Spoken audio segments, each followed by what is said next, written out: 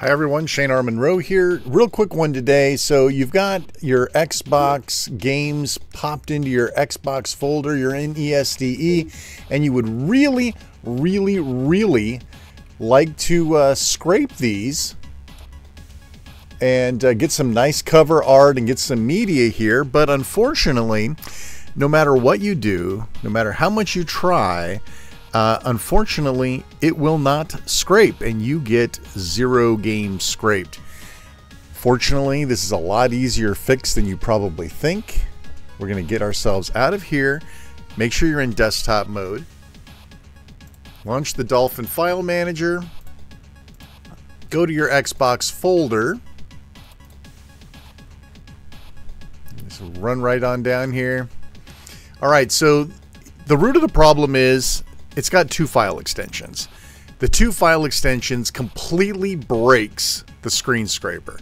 So if I go in here and I change the name, I'll just do one for now. Just change the name to bloodwake.iso, right?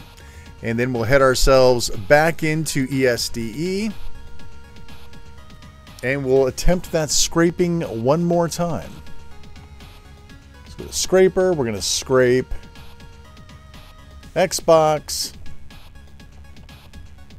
And you'll see that Blood Wake works just fine. And the reason it does this, of course, is because it's using a file name parser and it looks at that extra extension as part of the file name like you see here with Crazy Taxi 3 there's no match there's no match for any game in the database that has an XISO at the end of it so if you need these to scrape rename them all to just .iso reload ESDE, and you will see that um, they work just fine. And uh, this was a nice, quick, and easy one.